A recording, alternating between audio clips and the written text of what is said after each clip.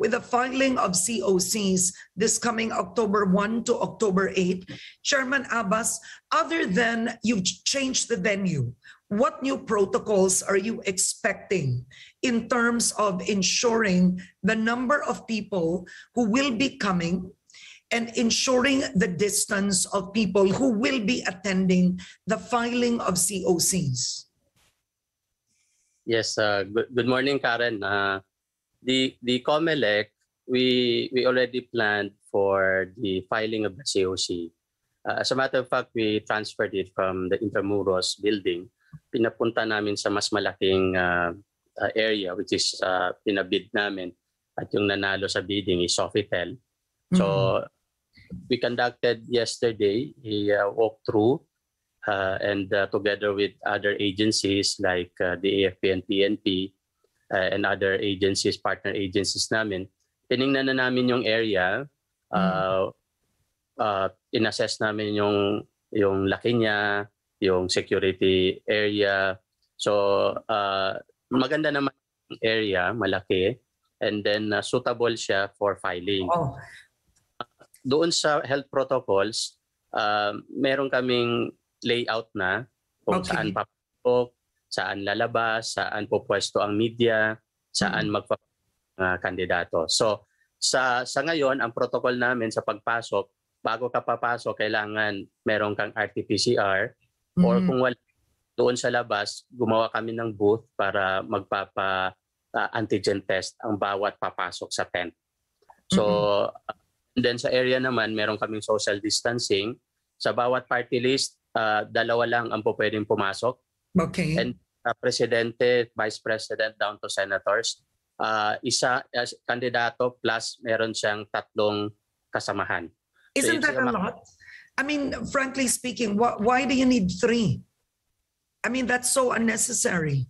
Why would Ah. a presidential candidate to a senatorial candidate need three assistants? Alam mo Karen, kukonti na lang yan ano kung kung Oo. makikita or But malaki. why not one? What, what will they do there? Of course, alam mo, Ka- Karen, every candidate meron yan silang mga assistant, meron silang secretary kahit papano. So, ah, mahalaga kasi yung COC, Karen. Kasi pag nagkamali sila sa entry ng COC, ah, magkakaroon ng malaking impact yon sa kanilang ah, ah, sa, Mhm. sa ah, So that is Oo. why maiwasan talaga, Karen, na meron silang mga sekretarya, meron silang mga assistant na tumitingin. But, but do they need three? Do they need three?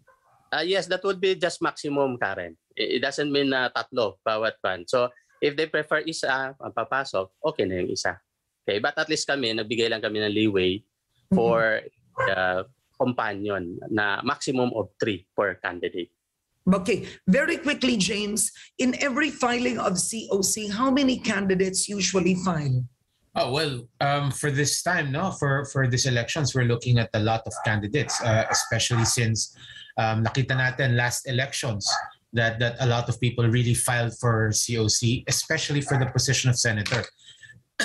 so we're looking upwards of around 200 to 300 uh, might come, no, because we're also going to hold- Candidates. Candidates lang to, ah. because we're also going to hold the filing doon sa mismong ano eh uh, party list. So talagang marami no. And and the reason we're able to do that is because we have a big venue. Yun yung sinasabi ni Chairman kanina. We have a massive venue now.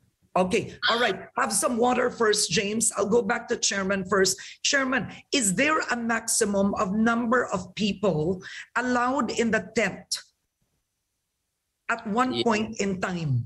Yes, Karen, i- i- i- uh, ipapalinyahan natin yan sila, no? Uh, one at a time. Hindi sila pwedeng uh, magsabay-sabay.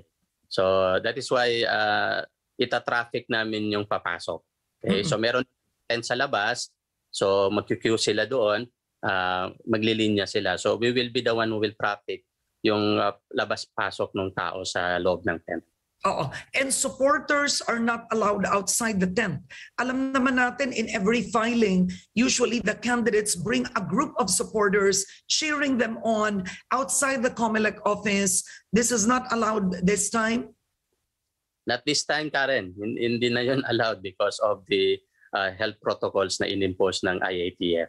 Mm-mm. Okay, so that's quite clear. And the filing of COCs will start at what time and end at what time? Although you do have eight days.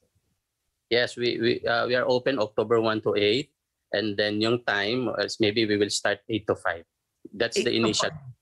Okay,